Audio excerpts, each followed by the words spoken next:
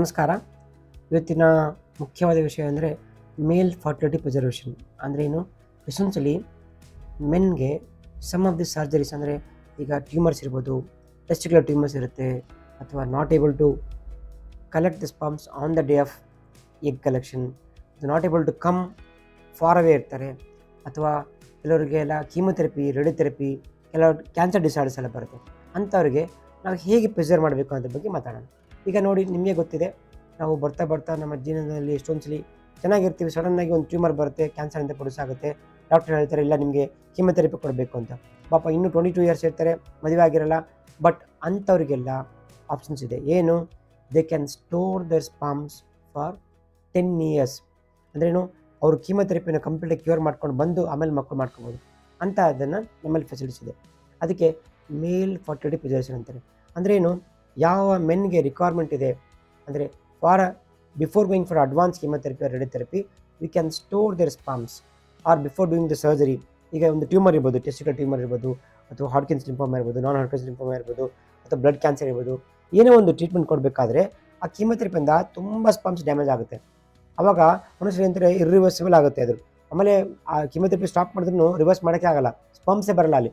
ಅಂಥ ಪರಿಸ್ಥಿತಿ ಇರಬೇಕಾದ್ರೆ ನಮಗೆ ಮುಂಚೆನೇ ಪ್ಲ್ಯಾನ್ ಮಾಡಿಕೊಂಡು ನೀವೇ ಫಾದರ್ ಆಗ್ಬೋದು. ಅಂದರೆ ಆ ಸ್ಟೋರ್ಡ್ ಸ್ಪಂಪ್ಸ್ ಇಟ್ಕೊಂಡ್ರೆ ಖಂಡಿತವಾಗಿ ಆಫ್ಟರ್ ಟೆನ್ ಇಯರ್ಸ್ ಬನ್ನಿ ಟ್ವೆಲ್ ಇಯರ್ಸ್ ಬನ್ನಿ ಫಿಫ್ಟೀನ್ ಇಯರ್ಸ್ ಬನ್ನಿ, ಅದೇ ಸ್ಪಂಪ್ಸನ್ನು ಯೂಸ್ ಮಾಡ್ಬೋದು. ಸೊ ಇದನ್ನು ಒಂದು ನಿಮಗೆ ತಿಳುವಳಿಕೆ ಹೇಳಕ್ಕೆ ಕಳಿಸ್ಪಡ್ತೀನಿ ಏನು, ಯಾವುದೇ ಇರಲಿ ಊಸೈಡ್ ಬ್ಯಾಂಕ್ ಇರಲಿ ಸ್ಪಾಮ್ ಬ್ಯಾಂಕ್ ಇರಲಿ ಹೆಣ್ಮಕ್ಳು ಇರಲಿ ಹೆಣ್ಮಕ್ಳಲ್ಲೂ ಅಷ್ಟೇ.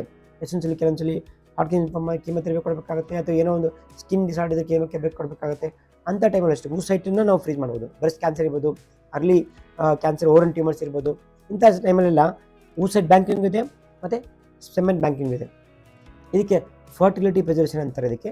ಸೊ ಇಷ್ಟೊಂದ್ಸಲಿ ನಾವು ಮೆನ್ನಲ್ಲಿ ಏನು ಹೇಳ್ತೀವಿ ಅಂದರೆ ನಮ್ಮಲ್ಲಿ ಅಟ್ಲೀಸ್ಟ್ ಒಂದು ಫಿಫ್ಟೀನ್ ಟ್ವೆಂಟಿ ಸ್ಯಾಂಪಲ್ಸ್ ಇದೆ. ಕೆಲವರು non Hodgkin's lymphoma African condition ಬಂದಿದ್ದರು ಅವರಿಗೆ ಲಿಂಫೋಮಾ ಟ್ರೀಟ್ಮೆಂಟ್ ಕೊಡಬೇಕಾಗಿತ್ತು. ಇಲ್ಲಿ ಆಸ್ಟಲ್ಸಲ್ಲಿ ಅಲ್ಲಿ ಕಿಮೊಥೆರಪಿ ಕೊಟ್ಕೊಂಡು ನಮ್ಮ ಹತ್ರ ಸ್ಟೋರ್ ಮಾಡಿಕ್ಕೆ ಹೋಗಿದ್ದಾರೆ. But they will come back once they get fully treatment with cancer treatment ಆಮೇಲೆ ದೇ ವಿಲ್ ಗೆಟ್ ಮ್ಯಾರಿ ಆಮೇಲೆ ಮ್ಯಾರೇಜ್ ಆಗಬೇಕಾ ಸೆವೆನ್ ಟೆಸ್ಟ್ ಮಾಡ್ತಾರೆ ಜೀರೋ ಇರುತ್ತೆ ಅಕೌಂಟ್ ಬಟ್ ಇಲ್ಲಿ ಆಲ್ರೆಡಿ ಸ್ಟೋರ್ ಆಗಿದೆ.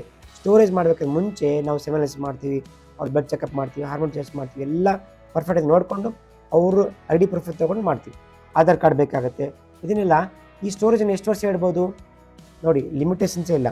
ನಿಮಗೆ ಹತ್ತು ವರ್ಷ, ಹದಿನೈದು ವರ್ಷ, ಇಪ್ಪತ್ತು ವರ್ಷ ಇಟ್ಟರು ಇಲ್ಲಿವರೆಗೂ literature says no sperm will get damaged even after thirty years ಅಂಥದ್ದು ಅಂಥ ಅಷ್ಟು ಒಳ್ಳೆ ಇದು ಬಂದಿದೆ ಈಗ.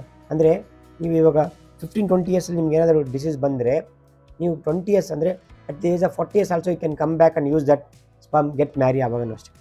ಅದರಿಂದ ಏನಾಗ್ತಂದರೆ, ನೀವೇ ಫಾದರ್ ಆಗ್ಬೋದು. ನಿಮ್ಮ ಸ್ಪಾಮಿಂದ ನೀವೇ ಫಾದರ್ ಆಗ್ಬೋದು. That is the beauty of this A R T bank ಅಂತಾರೆ ಅದಕ್ಕೇ ಸ್ಪಾಮ್ ಬ್ಯಾಂಕ್ ಅನ್ನೋದು ತುಂಬ ಇಂಪಾರ್ಟೆಂಟ್ ಆಗಿ ಗ್ರೋತ್ ಆಗ್ತಾ ಇದೆ. ಮತ್ತು ಸೋಷಿಯಲ್ ಫ್ರೀಜಿಂಗ್ ಮಾಡ್ತೀವಿ. ಇದ್ದಿನ ಕಾಲದಲ್ಲಿ ಕೆಲವು ಮೆನ್ನು ಹೈರಾರಿಕೆ ಇರುತ್ತೆ ನೋಡಿ. ಬರ್ತಾ ಬರ್ತಾ ಗ್ರ್ಯಾಜುಲಿ ಐ ಟಿ ಎಲ್ಲೆಲ್ಲ ಏನಾಗ್ತಂದರೆ, ಆ ಸೆಮೆನ್ ಕೌಂಟು ಕಡಿಮೆ ಆಗ್ತಾಯಿದೆ ಜೀರೋ ಹಾಕೋದು ಮುಂಚೆನೇ they now days they plan it such way ಇಲ್ಲ ಡಾಕ್ಟ್ರೇ ನಾನು ಇವಾಗ ನಾನು ಆಫೀಸ್ಗೆ ಹೋಗ್ತಾ ಇದ್ದೀನಿ. ನನಗೆ ಇನ್ನು ಮೂರು ವರ್ಷ ತುಂಬ ಪ್ರೆಷರ್ ಇರುತ್ತೆ. ಈಗ ನಾನು ಸ್ಟೋರ್ ಮಾಡಿ ಅಂತ. ಇದು ಮೆನ್ನಲ್ಲೂ ಬರ್ತಾ ಇದೆ ಬಟ್ ವುಮೆನೆಲ್ಲ ಆಲ್ರೆಡಿ ಸೋಷಿಯಲ್ ಎಗ್ ಫ್ರೀಸಿಂಗ್ ಇದ್ದೇ ಇದೆ. ಯಾಕೆಂದರೆ womens are prime of family ಅಲ್ವಾ?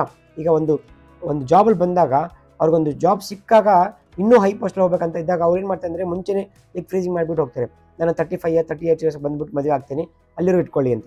ಈ ಥರ ಸೋಷಿಯಲ್ ಎಗ್ ಫ್ರೀಸಿಂಗು ಮತ್ತು social semen freezing also beginning more and more aware of youngsters ಈಗೇನೇ ಅಂತ ಹೇಳ್ತೀವಿ ಯಂಗ್ಸ್ಟರ್ಸ್ ಯಾಕೆಂದರೆ ಟೆಕ್ನಾಲಜಿ ಎಷ್ಟು ಇಂಪ್ರೂವ್ ಆಗಿದ್ರೆ ನಮ್ಮ ಲೈಫ್ ಸ್ಪ್ಯಾನನ್ನು ಜಾಸ್ತಿ ಮಾಡ್ತಾ ಹೋಗ್ತಾ ಇದ್ದೀವಿ ನಮ್ಮ ಲೈಫನ್ನು ತುಂಬ ಕಂಫರ್ಟ್ಗಳಂಗೆ ಮಾಡ್ತಾ ಇದ್ದೀವಿ ಅದರಿಂದ ಈ ಟೆಕ್ನಾಲಜಿನ ಯೂಸ್ ಮಾಡಿಕೊಂಡು ನಮ್ಮ ಲೈಫ್ ಸ್ಪ್ಯಾನನ್ನು ನಮ್ಮ ಕಂಫರ್ಟನ್ನು ಜಾಸ್ತಿ ಮಾಡಿಕೊಂಡ್ರೆ ಫ್ಯೂಚರಲ್ಲಿ ನಮ್ಮದೇ ಬೇಬಿ ಮಾಡ್ಕೋಬೋದು.